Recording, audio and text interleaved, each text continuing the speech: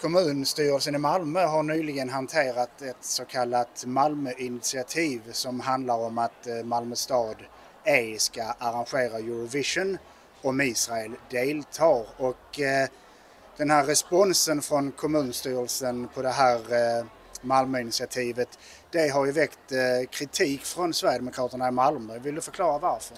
Ja, alltså vi tycker att det förslaget eller svaret som man gav från kommunledningen på det här Malmöinitiativet det var ganska intetsägande och ganska urvattnat. Man ligger, ligger som, liksom, ja, sorts mellanläge. Vi tyckte istället att det var viktigt att sända en tydlig signal att nu har vi Eurovision i Malmö.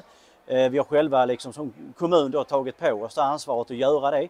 Vi kan inte bedriva utrikespolitik. Vi kan inte bestämma vilka länder som får lov att delta i det här arrangemanget. Vi tycker det är viktigt att svara det tydligt och säga. Plus att vi också som Malmö normalt sett brukar ju stå upp för demokrati, Eurovision och allt det här fina mänskliga rättigheter. Men i det här fallet så tycker då människor att vi ska göra någonting helt annat.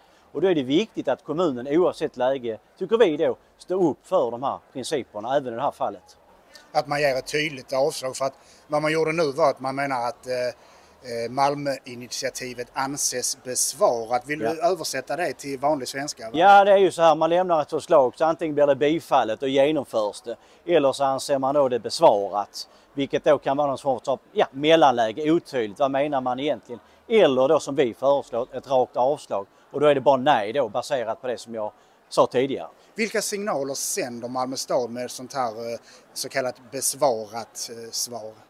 Ja, det är ju att man inte tydligt tar ställning i, i den här frågan helt enkelt. Det här handlar om Eurovision som vi har åtagit oss att, att genomföra här i Malmö tillsammans med e- EBU och Sveriges Television.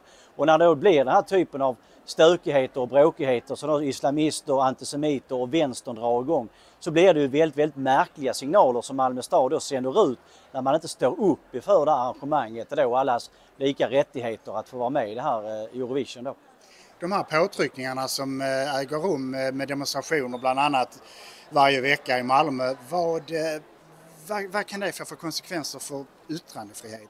Ja, det är yttrandefriheten. Alltså vänstern i det här fallet då som är drivande då mm, i, i det här att bojkotta Eurovision, att man ska bjuda hit Israel och så vidare.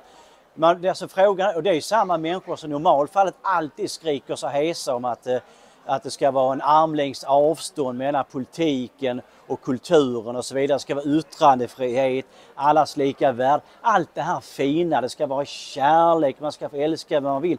Det är som det faktiskt Eurovision står upp för och vänstern säger sig göra i vissa fall.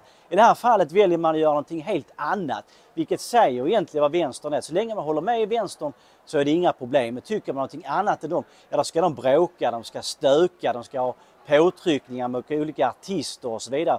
Vad blir nästa steg? Ska de då också välja vilka företag eller vilka som får flytta till Malmö också? Det är frågor som man ställer sig som blir ganska obehagligt när man, när man tänker på hur de går fram i det här fallet.